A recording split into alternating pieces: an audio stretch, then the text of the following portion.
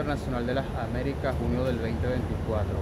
Vamos a volar hoy una vez más con Arayet, pero ya les voy a contar, si te interesa mantente hasta el final de este video porque te voy a contar qué particularidad tiene este vuelo que voy a tomar el día de hoy. La última vez que viajé fue en marzo y veo que han cambiado ciertas cosas. Bueno, de hecho los check-ins se hacen ahora en la parte derecha de aquí de la terminal cuando dejar Arayet.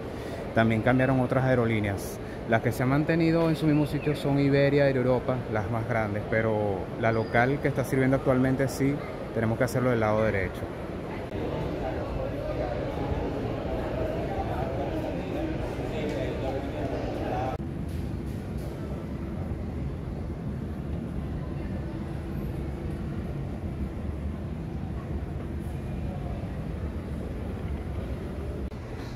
Bueno, ya yo me chequé, pasé por todos los procesos de seguridad, migración. Antes de ingresar aquí a la zona estéril, lo que hice fue que comí algo rápido en el local que está abajo. 3 por 100 dólares, Bucanas Deluxe. Decidí comer abajo porque es que aquí las opciones no son muchas, no son tan variadas. Aparte que todo te cuesta realmente extremadamente caro. Al igual que el aeropuerto de Tocumen de Panamá, yo veo que este aeropuerto los precios son bastante altos. Entonces, bueno, claro, tampoco la variedad es la mejor y, aparte de eso, los costos y lo que te ofrecen no satisface del todo. Duty Free no he visto mucha innovación, es decir, mantienen como que las mismas ofertas de siempre, entre 25 y 40% en varias mercaderías, pero no veo así algo que, que, sorprenda o que digas que, que bueno. Pero hay para todos los gustos, hay ofertas buenas también. Clásico salón Sky Lounge que esto lo funciona una frase que se llama Before Boarding. Ahí pueden hacer la reserva. O si tienes las tarjetas de crédito que permiten también puedes disfrutar el acceso ya esta terminal realmente tiene mucho tiempo que no le han hecho ninguna actualización ninguna modernización me estoy encontrando ahora que cambiaron las señalizaciones ahora la nomenclatura de las terminales ahora la que está de este lado es la terminal M pero las puertas siguen siendo las mismas, solamente que cambiaron la, nomenclatura de las terminales. De este lado derecho tenemos la terminal M y hacia el lado izquierdo la terminal T. Bueno, definitivamente aquí está la salida de los vuelos. Vamos a hacer un pequeño spot y recorrido a ver qué aeronave podemos localizar. Así que nos llame la que no les comente si voy a viajar al aeropuerto Ministro Pizzarini que sirve 6 en Buenos Aires, Argentina. Este es el vuelo más largo que tiene actualmente la aerolínea. Este Airbus 330-200 es el que está recientemente sirviendo los vuelos a Iberia. Eh, dentro de lo que ellos me indican es que decidieron hacer ese Willix con Guamo porque actualmente tienen un déficit de equipos para entonces las rutas que están sirviendo a Dominicana entonces por esa razón es que decidieron incorporar esta aeronave entiendo y según lo que estuve indagando mantienen los mismos servicios que ofrece la aerolínea como tal.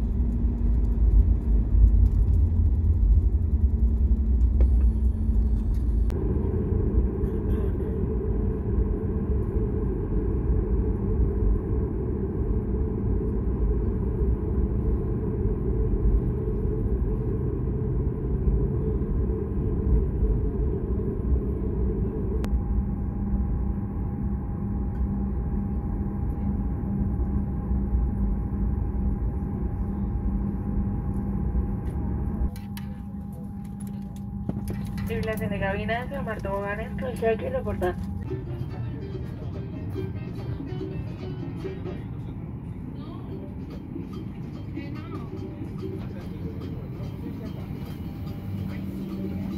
Chao, gracias. La orden.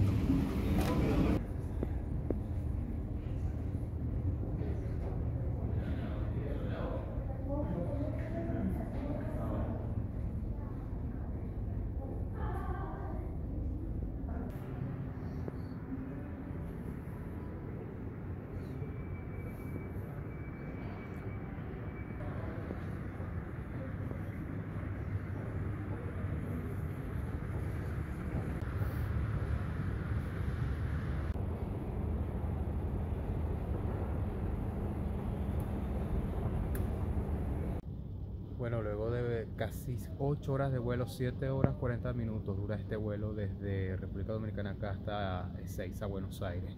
Ya gracias a Dios llegamos y todo salió bastante bien.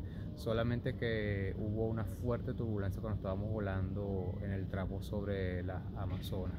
Ya cuando teníamos dos horas de vuelo, pero del resto todo estuvo perfecto. El vuelo salió en hora, llegamos unos 15 minutos antes de la hora programada de llegada acá a Buenos Aires. No, no, Araye, bueno, realmente eso va a depender, como siempre digo, de la necesidad de que tenga el cliente, si la persona quiere viajar solamente con un artículo personal o si quiere llevar simplemente un carrión, pues es funcional a la medida de que lo que busque es economía, pero en cuanto a los servicios siguen y permanecen igual, ustedes en el video pueden ver que este, siguen ofreciendo el servicio menú a bordo, pero con pago y del resto el servicio es muy básico y muy estándar. Así que es una opción. Sin embargo, lo bueno es que es un vuelo directo, no tienes que hacer escala a través de Panamá o Bogotá como usualmente se tiene que hacer desde esta isla del Caribe hasta acá. Hasta, estoy aquí en la antigua terminal, vamos a hacer varios videos, vamos a ver cómo está este aeropuerto que veo que le hicieron una remodelación hace ya casi un año. Estoy grabando este video en junio del 2024 y muchas cosas más aquí en este destino espectacular que es Buenos Aires. Así que bueno, nada, gracias como siempre por acompañar y ver mis videos. Nos vemos hasta la próxima crónica. Chao, chao.